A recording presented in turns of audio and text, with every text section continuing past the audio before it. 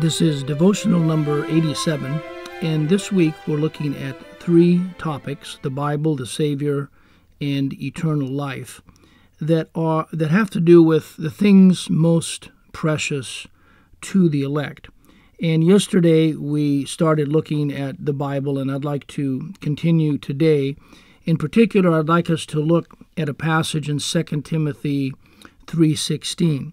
All scripture is given by inspiration of God, or God breathed, and is profitable for doctrine, for reproof, for correction, for instruction in righteousness, that the man of God may be perfect or complete, truly furnished unto all good works.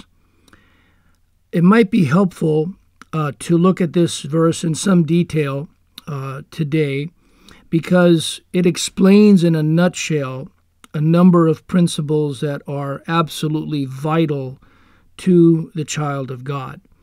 Uh, immediately, we see that the Bible proceeds from the mouth of God. All scripture is given by inspiration of God or God breathed. This fact is of utmost importance as we approach the Bible, and we must never lose sight of it.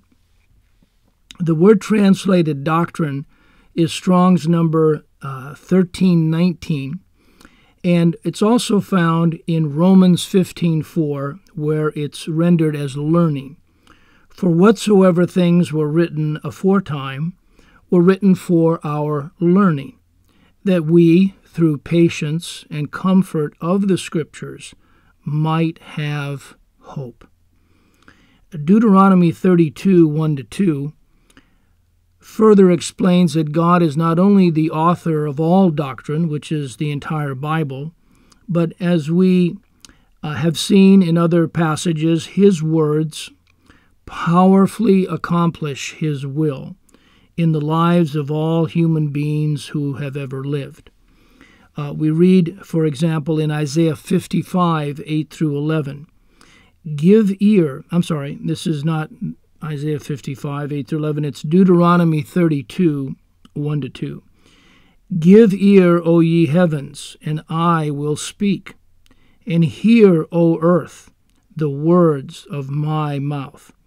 My doctrine shall drop as the rain, my speech shall distill as the dew, as the small rain upon the tender herb, and as the showers upon the grass the word that is uh, rendered a reproof is Strong's number 1650.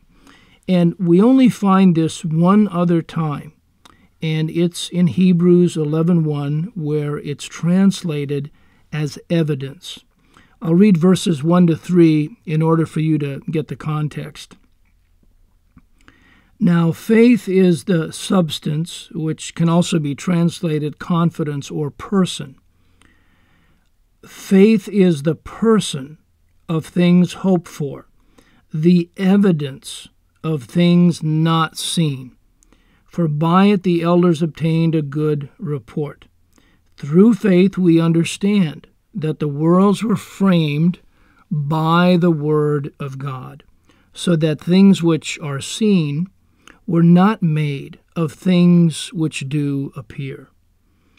These verses show that faith is actually a person. The Lord Jesus Christ, who is named faithful or full of faith in Revelation 19:11. He is also the confidence or person of things hoped for, the evidence or proof of things not seen. Uh, this is also reiterated in verse 3 where it says, So that things which are seen were not made of things which do appear. A similar idea is also expressed in 2 Corinthians 4:18. While we look not at the things which are seen, but at the things which are not seen. For the things which are seen are temporal, but the things which are not seen are eternal. The word translated correction, which is only found in this verse, is a derivative of the word of, of another um, uh, Greek word, which um, is uh, found uh, in another passage, and I can't think of the passage right now, but it's uh, the Greek term is is orthos, which which means uh, to cut straight.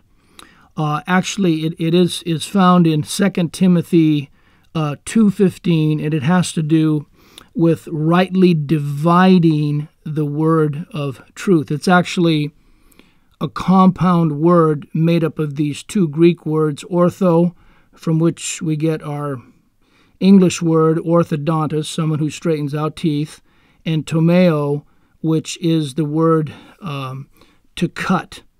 Uh, and the idea behind the this I, this word rightly dividing it means to to cut straight or to correctly rightly interpret the Bible. Uh, and so this correction uh, has to do with straightening out our doctrinal errors through the scriptures themselves. And correction is an ongoing process that uh, is uh, taking place within the child of God from the moment he becomes saved right up until his death or until the Lord uh, returns, whichever comes first. Uh, but uh, this helps him to grow in grace and in the knowledge of the Lord Jesus Christ. Uh, we must also be very willing and open to receive this kind of correction from the Word of God. And uh, a helpful analogy as far as the idea of uh, straightening one one uh, one out uh, doctrinally. Uh, we see this in an, in an analogy in Luke 13, 10 to 13. Uh, and it says there, And he was teaching in one of the synagogues on the Sabbath, and behold, there was a woman which had a spirit of infirmity eighteen years, and was bowed together, and could in no wise lift up herself. And when Jesus saw her, he called her to him, and said unto her, Woman, thou art loosed from thine infirmity. And he laid his hands on her, and immediately she was made straight and glorified God. And again, we know that this spiritually is a, a, a historical parable having to do with salvation. Uh, however, at the same time, we also see that it is it is helpful in understanding that God lovingly corrects his people so that they can uh, be more faithful and, adhere more closely to the Word of God.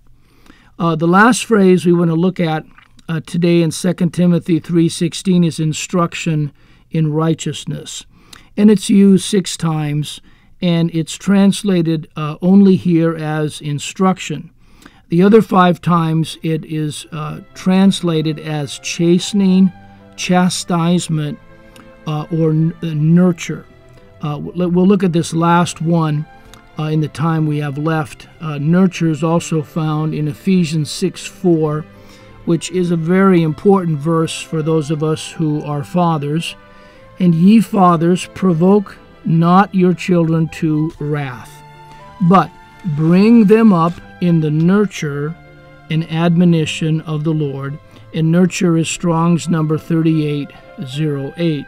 So these four components a doctrine, reproof, correction, instruction in righteousness constitute the purpose of the Bible in the life of each of God's elect so that indeed the man of God may be perfect or complete, thoroughly furnished unto all good works.